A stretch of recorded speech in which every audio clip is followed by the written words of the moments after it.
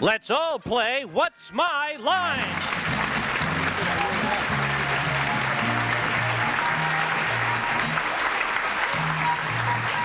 Thank you. Thank you. Welcome to What's My Line. My goodness, Melba, I am awed. I wondered if I was being followed. Dana, listen, is Brunswick Records uh, connected in any way with the bowling alley people? No. No. Who asked you? Is your name Dana?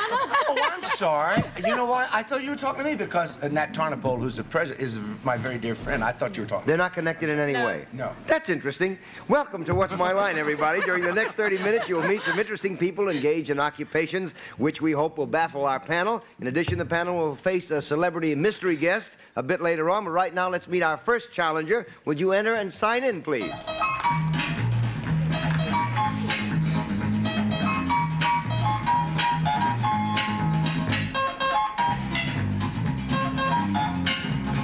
Wade.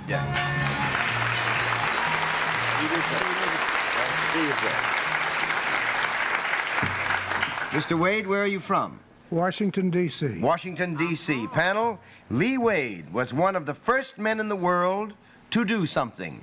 We will now show the audience what it was that he did.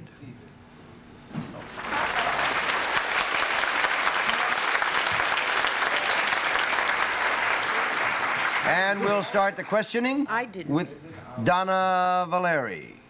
Huh? Shall we start the questioning with Dana Valery? All Should we start? No, I didn't look, I swear. Um, they've confused me. N sir, um, you, you're from Washington, D.C., right? Correct. The Correct. first gentleman to know who Spiro Agnew was. Not correct. that was Mr. Agnew's father. Gene? You stayed honest your whole life. Yes. Well, you're the first man in Washington to do that.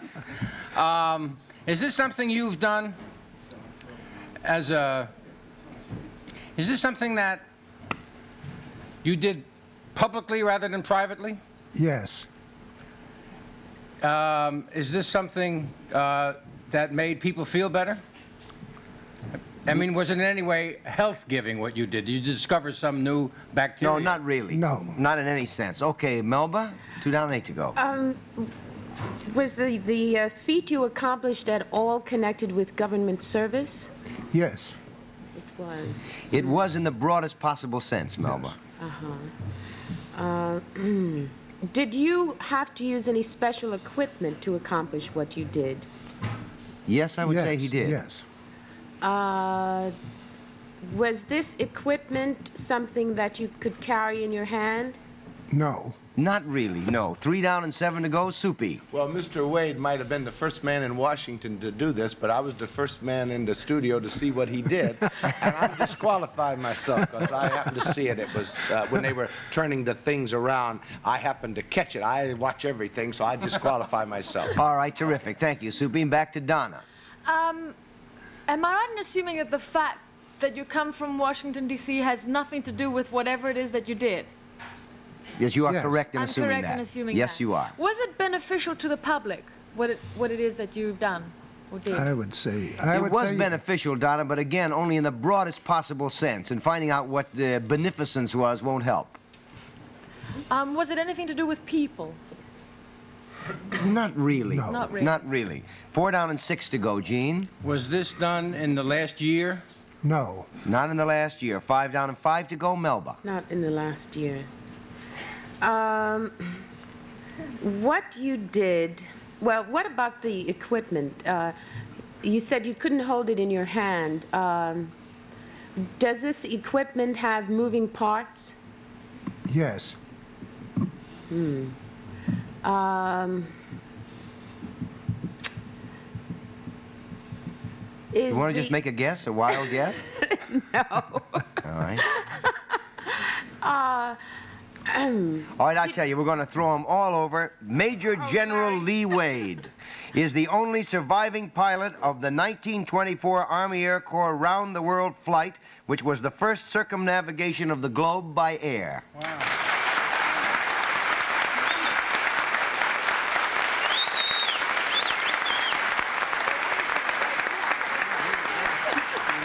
Today, an astronaut circles the Earth in about 90 minutes. General Wade, how long did your flight take? 175 days. What, what type of plane did what? See, that's what that's what's wrong today. Those flights you pay five or six hundred dollars, and you're from in New York to London what in five hours. The first airline that comes up with a flight that takes like three weeks, gonna have it made. Uh, General, what type of plane did you fly then? It Was known as the Douglas World Cruiser. Do you by any chance have a model of it that we yes, could see? we happen to have a model of it here. It's a scale model. I hope so. Let's just put it up here so we get a good Yeah, shot of it. no, it's, uh, Isn't that amazing? Look at that. How many stops Flew you around the have to make? world in that. How many planes took part in this uh, trip? Four started and three credited with the finishing. All right, General Wade has brought with him some film of the actual flight. Oh. So let's watch that film now, and the General will tell us about it as we do. Okay, could we roll the film? Now, where is this, General? That was up in Alaska. The airplane was being towed to its mooring. That's on pontoons. That's on pontoons there on the water. There we are in formation en route across the Pacific. Then into Shanghai, China. And that, They seem glad to see you. all those sampans were out in great numbers. That's Shanghai Harbor, the river. And we jumped quickly to Turkey, to Constantinople. Now you have wheels on the plane. Now we have wheels. We put the wheels on at Calcutta, India. Then we arrive in Paris on Bastille Day. That's formation again. That's the formation again. That's one of the airplanes. That's at the same airport that uh, Colonel Lindbergh landed, Le Bourget. Then on across the North Atlantic. And that shows how we were doing our own work. And that's at Brough on the Humber in England. The pontoons that were put on there for the North Atlantic flight to Boston, Massachusetts, then into New York. That's flying over the city of New York, then across the continent on to Seattle, Washington, where they made the terminal landing of the flight. That's number two, the Chicago landing. Now, which one are you there? Is that one? The one on the right. I was smoking then, but not now.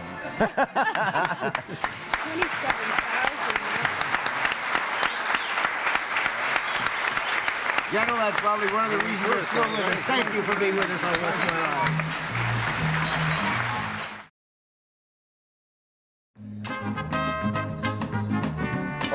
All contestants on What's My Line receive these gifts from Sarah Coventry, a handsome golden heirloom locket pendant, Florentine bracelet, and dainty tri-light rings.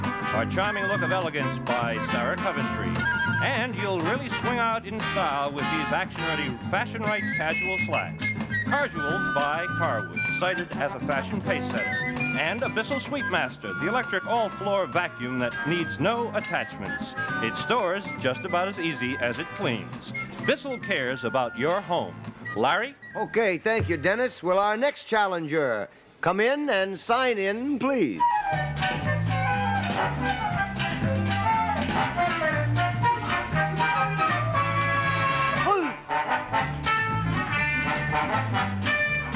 Susan Stallworth. Hello, Susan. What you sitting down? Did you hear that one? Did you hear that one, Soup? What? I said, hello, Susan. She said, hello, sir. See, you Oh, are. boy, I tell you. Where you from, Susan? I'm from Aiken, South Carolina. Aiken, South Carolina, I tell you. Even- Huh? Well, I tell you, Susan is not just pretty by accident. Susan is one of the latest in our series of pretty girls with unusual titles like Miss Garden Hose or Miss Hockey Puck or something like that. Now, Susan is a queen. She is not a princess of any kind. She is an absolute queen, and now we're going to show the audience what her title is.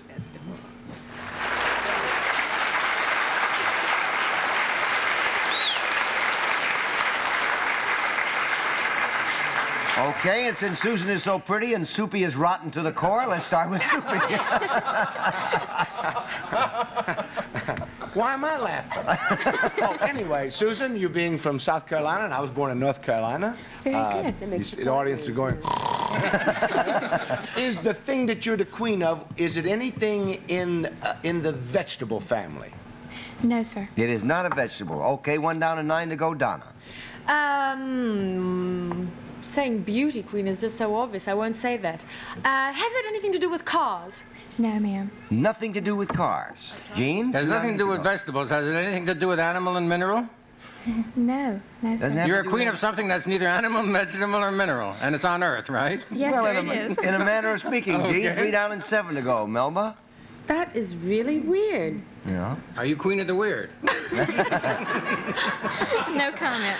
It's Are you queen of something edible? yes, ma'am. Aha. Uh, um, does the uh, does the the the, uh, the product that you are queen of come in more than one form? Oh, yes, I take it that does question actually, back. but oh, it uh, does. it does come in more than one form. But uh, but but it's essentially that thing all the time. So does Miss Stallworth. all right. Um, is this? It, it is edible. Is this product uh, native to uh, Aiken, South Carolina? Not really, no. Not in the sense of it being from there and no other place, although I assume it is also there. Okay, Soupy? Now, when you say it's edible, is it is it some form of? eh, Did we establish it's some form of animal? No, we didn't establish that. Oh, all right. Let's Well, say we established that it was not, actually. Exactly. Or Oh, no. vegetable or mineral. it's not vegetable. It isn't mineral, but it's Vegetable in the sense Is of, let's s- say, carrots and peas, Right. Oh. is what it is not. Is it is it anything? Well, no, it isn't. You're just saying that. Is it something to drink? Is it something you drink? I would say not, wouldn't you? No, No, edible is what we went, is what you established, okay? Five down and five to go, Dana. Do you swallow it? Yes. Yes, ma'am. Sure you do. I was thinking of bubble gum. No, that's chewable, not edible.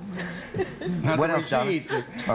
My answer was no, right? no, your answer was yes. You swallowed, right. No, six down and four to go. What town are we in, Gene? My dear, has this got anything to do with either peanuts or fruit?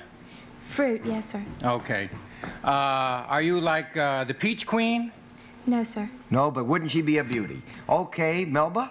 Um, is is it uh, uh, a berry of some kind? I tell you, it's not a berry. We're going to throw it over. Melba, Susan Stallworth, Gene, Donna, Soupy is been, has been crowned the National Watermelon Queen at the annual convention of the National Watermelon Growers and Distributors Association of Hot Spring, Arkansas. What are your duties as National Watermelon Queen? What do you This do? summer, I'm touring the country promoting watermelons, talking to housewives about recipes, Oh, recipes for watermelon? and having a wonderful time. Yes, sir. Watermelon fondue, watermelon dip with peanut butter and sour cream. I saw they had they had a watermelon uh, seed spitting contest on the news the other night, and the guy spit 30. Th- he was a champion of the world. 30 feet of watermelons. A watermelon seed? Watermelon seed. You ever been impaled by a watermelon seed, punk? I want to hear about this fondue with sour cream and watermelon. No, that's the dip. The fondue is with chocolate. Chocolate watermelon? Saints preserve us. How many watermelons does the United States produce each year? Well, it's impossible to count the watermelons, it's, but it's about $68 million dollars worth of 68 watermelons. million dollars worth? That's a crowd of watermelons. To keep eating a lot of Has anyone ever discovered where the watermelon was originated? It was originated in South Africa. sir. It grows wild there. Really? It grows wild in Africa? Yes, sir. What is the best way to eat a watermelon? with your mouth. I want her out of here. I want her out. How do you catch a wild watermelon in Africa? You go on safari or what is that? I will tell you what is the best way to eat a watermelon because I. I happen to know. know. Standing in the Gulf of Mexico. That's true. You just dip it in the water. You used to do it as a kid, and the water salts it naturally. And then you just eat it, and it's terrific. Right. You're Yeah. telling us not to put salt on watermelon. That's what you're trying to tell us. and eat it, and then you know it doesn't make any difference if you get it on you because you're out there in the water. Listen, it's been a gorgeous thing having you here on What's My Thank Line. sir. Thank you, Nice darling. Good luck to you. Everybody's blindfold is in place. Will our mystery guest enter and sign in, please?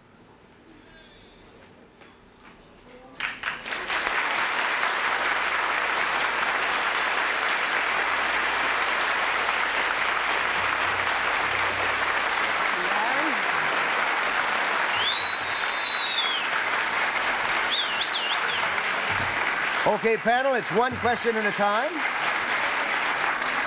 It's one question at a time, panel. We'll give you three minutes to establish the identity of our mystery guest, and we'll start the questioning with Gene Shalit. Uh, hello, mystery guest. Are you a celebrity in the field of entertainment? I think so. Melba? Wow, I like your accent, and you certainly got a lot of applause. Are you known uh, more for your work in films? No, I'm not. Okay. Soupy? Are you known for your work in on records? No, I don't think so. I only made one. Dana? Um, are you a dancer? Well, I have danced a little bit. Gene? Are you primarily known to the public through your work on television? I think so. Melba?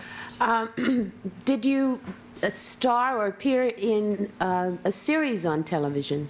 I sure did. Okay, Soup? Can I take a guess? Sure.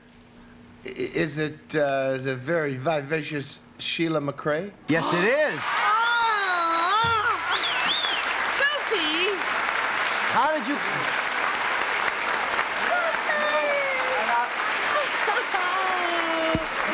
Oh, Soupy! How did you come up with that, Soup? Do you want to know something? Because she, Sheila MacRae does the best imitation of Dinah Shore of any kind of Oh, business. you heard and it. that's and I heard the Dinah Shore. Do Dinah Shore, and it's a, it's a, like the same. Oh, yeah. Well, Dinah Shore has this show in the morning. She's always drinking with little old Burt Reynolds, little old Frank Sinatra. Ah, that's marvelous. oh, Soupy. How many imitations do you do? You're going to do a new nightclub act, aren't you? Well, I'm doing it now, Yeah. and um, I, I'm doing about seven people. A couple of them are, are new and different. I just looked on the monitor. I can see my black eye. Nobody believes I got this black eye from a hanger. Or from, They think I got it from a man, right? Oh. A hanger? A hanger. A I coat was, hanger? I was changing very fast, and I pulled like this, and the coat hanger broke and hit me right in the eye. Ow, that's smart. You're It lucky did. it was that low. But I was changing for my impression of Jacqueline Onassis, so maybe she wished it that way. Oh, I wouldn't I have. do Jackie Onassis, and I do Raquel Welch, and I do Cher of Sonny and Cher. Yeah. Who I- Those are all new. uh, they're the new Yeah, ones. And then, of course, I do my perennials. So I have to do Gal Do Cher. share for me, will you, please? Cher. Do Cher. Well, the, uh, the you know, Cher is a singing impression because it's done to Vamp, you know? It's done to So you can't do that without a pit. I cannot do that without a pit Bring full back of the watermelon musicians. girl. What, what can you do? Do Well, one. I do Carol, yes, I do Carol Channing, yes. I do her all the time. And then I do my Barbra Streisand thing. Yeah. And uh, for which I get many letters from Barbra Streisand about that. and then I do Georgia because I always do her, you know, because she's so sweet. I do. Listen, I see Meredith, your daughter Meredith, all the time on the TV, but what's happening with Heather? Heather's now in Jesus Christ Superstar in California. Is she? Yeah. She went from hair to that, huh? It is, Jesus Christ Superstar, yeah. Oh, she's she such a lovely girl. It. She just loves it. It's just, the only thing she doesn't like is California. Really? No. Why is that? She wants to live here in New York. For the As we all do. Yeah. We love it. yeah, you know, it's really interesting. I must say, if I have a half a second, I'd like to say something good about New York. I'm so tired of people going on television and knocking New York and saying what a terrible place it is. And friends of mine in California say to me, of course you can't walk down the street. I mean, it's really ridiculous. And I think we should. I'm saying up with New York, and, and for me, New York is a great city, and I want to live I- here. Yay. Whoever said it better? Whoever said it better? Up with New York and down with coat hangers. Listen, Sheila, thank you very Thank much you, for being with us on Thank What's. Going On. Listen, panel, you're still batting 333, which is better than anybody on the Mets is doing this year. So congratulations. Now we'll go over there and have a little watermelon, because why not? And in the meantime, goodbye, ladies and gentlemen, and don't be forget to be with us every day on What's My Line.